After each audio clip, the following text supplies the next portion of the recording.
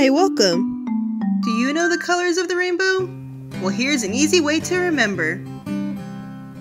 Red, orange, yellow, green, blue, purple, pink.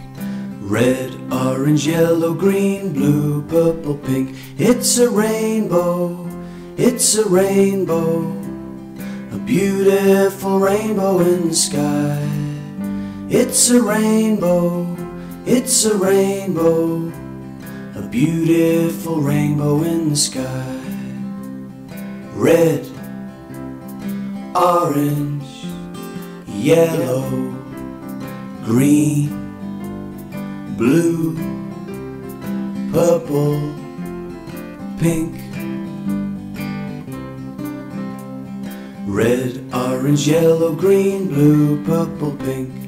Red, orange, yellow, green, blue, purple, pink. It's a rainbow, it's a rainbow.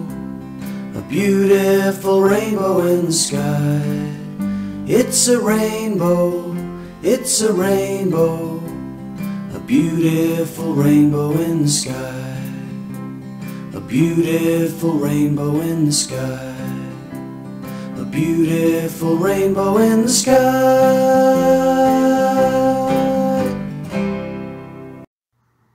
That we know the colors, let's see how we can make them work together in harmony. In today's lesson, we're going to learn about the colors of the rainbow and how to make them work together to create absolutely remarkable pinwheels. For this lesson, you're going to need pencils, paper, scissors, watercolor paints and brushes, a cup for water, and push pins. First, let's take a look at this. This is what we call the color wheel. Just like a rainbow, it has all the colors, though it's a circle to help show us the relationship between them. To help understand these relationships, let's paint our very own color wheel. Before we begin painting our color wheel, we're going to need to draw it out. Get out a sheet of paper and a pencil and draw out a circle like this. Now you're going to need to split it up into 12 equal slices, just like this. Next, draw a circle in the middle and erase all the lines that are inside of it, like this. Now we have the color wheel drawn out. To begin, let's start with these three colors, red, blue, and yellow. Why these three, you might ask? Well, these are the primary colors, which means that by mixing these, you can get all of the other colors on the color wheel, but no other color can be mixed to create them. Think of them as the first colors on the color wheel. Now let's start up here with the red. Grab your paintbrush and just gently dip it into the water like so. We're using an ice cube tray to help separate the different colors of water so it won't muddy up our other colors later. Now let's put our wet paintbrush into our red paint, activating the watercolor. Last, we just simply go over here and paint our red space. Easy peasy!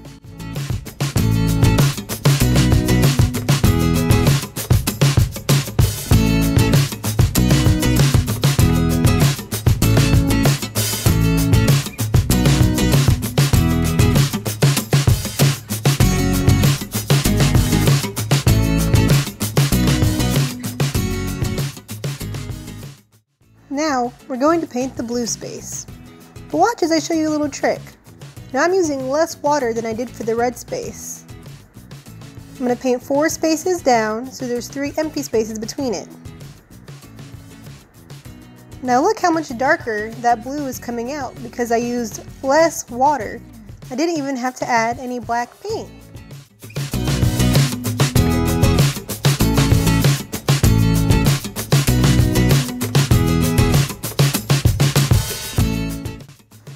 Now I'm going to add more water to the blue paint and paint on the same space.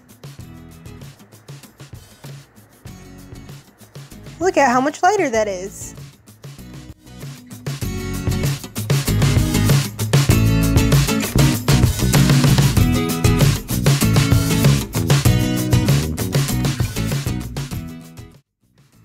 Before we get our yellow watercolor, let's just paint our yellow space with water, which is four spaces away from the blue. Once we have a nice amount of water on the paper, let's go back and get our yellow paint. Watch what happens as I simply dip the yellow paint into the water on the paper.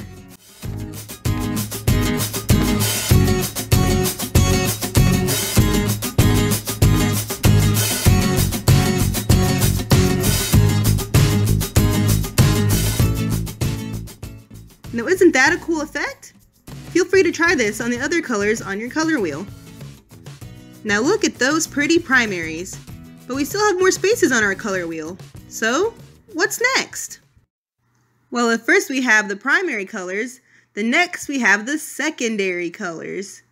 Our secondary colors are purple, green, and orange, and come, well, second. They are created when we mix two of the primary colors together. We actually have them here in our paint palette, but for now, let's try mixing them instead. But mixing colors, you say? How do we do that? Well, let me show you. First, let's get out our handy dandy paint palette and take just a little bit of red watercolor with our brush, the same way we did when we first started painting. However, look how I brush it gently into the paint palette rather than on the paper, so we have a little bead of red watercolor to mix with. Now for our first secondary color, purple, we need to mix red and blue. So we're going to do the exact same thing we did with our red paint with our blue paint.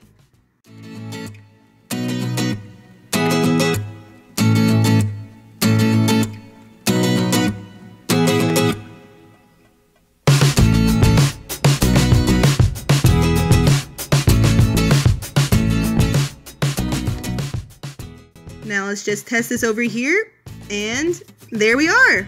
We have mixed a perfectly perfect purple paint. Let's just paint it right here, two spaces away from both the red and the blue on our wheel.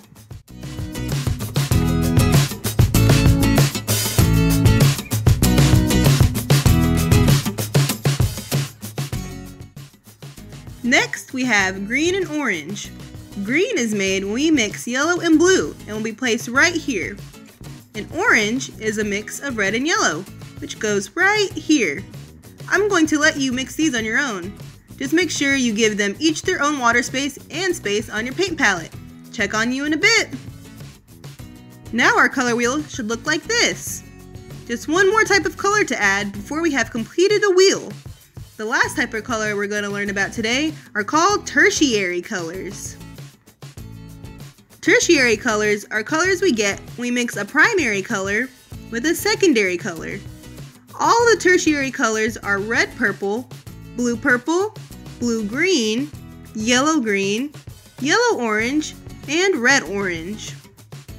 For this step, all you need to do is mix the secondary colors you've made with one of the primary colors a space away from it on the color wheel. Let's do one together. Once again, let's start with red just like when we made purple. I'm going to put some red in a new space on my color palette, though this time I'm going to mix it with the purple we made earlier. This makes our red purple, and all we have to do is paint it in the space between the two colors on the color wheel. It's as easy as that. Now I'm going to let you fill in the rest of the color wheel yourself. And here's a quick guide if you need any help. Feel free to try some of the tricks we learned earlier to see what kind of cool effects you can get. See you in a bit. Wow, look at that! We have made an absolutely remarkable color wheel. We have our primary, secondary, and tertiary color relationships. But are there any more cool color relationships we can get out of this color wheel? Well, you bet there are. Two super easy color relationships to remember are our warm and cool colors. For example, imagine a hot sunny day outside, so hot you feel like you're melting. What kind of colors do you see in your mind? Is it red, orange, and yellows? Well, those right there are some of your warm colors. Looking at them make you feel hot. You can find all of your warm colors by simply cutting your color wheel in half. All the ones right here are your warm colors. And right here on the other side are the colors that make you feel so chilly. Your cool colors. Notice all of the blues, greens, and purples. Next, we have another easy to remember color relationship, our analogous colors. For this one, it is any three colors that are right next to each other. So this, this, this, and this are all different analogous color relationships. And there are still many more. How many analogous relationships can you find on the color wheel? The last color relationship we're going to learn about today are the complementary colors. Complementary colors are basically color opposites.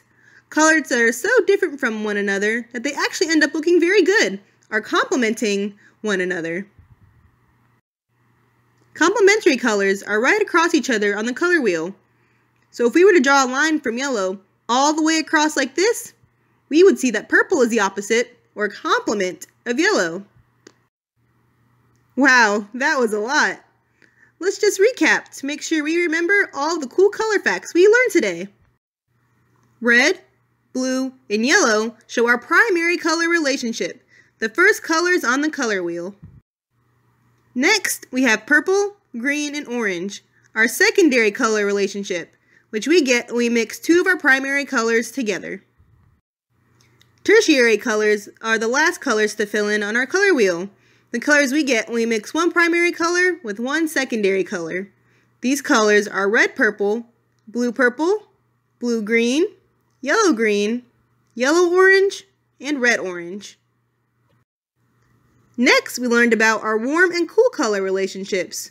Our warm colors are the one on this half that make us feel hot, and the cool ones are on this side and make us feel cold. Analogous colors are any group of three colors right next to each other. Just like how red, red purple, and purple would be an analogous color relationship. Lastly was our complementary colors. Two colors that are right across from each other on the color wheel. Like red and green are blue purple and yellow orange. Now that we're all color experts, let's use our knowledge to make our own unique color wheels with a twist. Unlike a regular color wheel, today we're going to make a color pinwheel. And instead of having all the colors on the color wheel at one time, we shake it up by showing off our knowledge and painting one of our color relationships we learned today. First, let's start off with painting our pinwheel. Let's take a 4x4 square of watercolor paper and choose one of the color relationships we learned about to paint our wheel.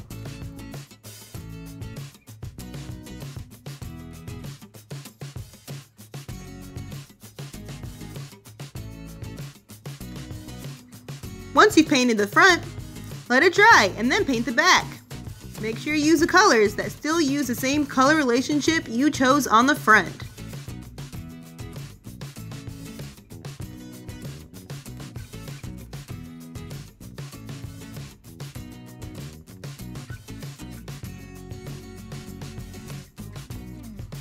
Once the entire front and back of your square is painted and dry, now it's time to put it together. For the first step, fold your paper in half diagonally, then unfold. Repeat this step for the other half so you have a nice X-shaped crease, like this. Next, take your pencil and do a very small, very light mark in the center where the two lines meet. Now we're going to use our rulers to measure out about one inch away from the center mark we made on all four of the crease lines. So a mark here, here, here, and here. Once all of your marks have been made, let's take our scissors. Now you might need an adult to help you with this part. What we're going to do is cut up from one of the corners of our square along the crease line we made and stop at the mark we made earlier so we don't cut up to the center. Let's repeat this step for the other three corners so that our square now is cut like this. Almost done! For our last step, we're going to need a pencil and a push pin. Make sure you have an adult to help you with this part. We don't want any fingers being poked. What we're going to do is take every other corner and bring it to the center mark we made earlier, pinching it together to make sure it doesn't move around. To secure your pinwheel, you're going to take a push pin and push all the way through through all the corners you have brought to the center, and then into the eraser tip of your pencil. And voila! Look at that! A remarkable pinwheel. Which color relationship did you choose? Thank you all so much for learning with me today. See you next time!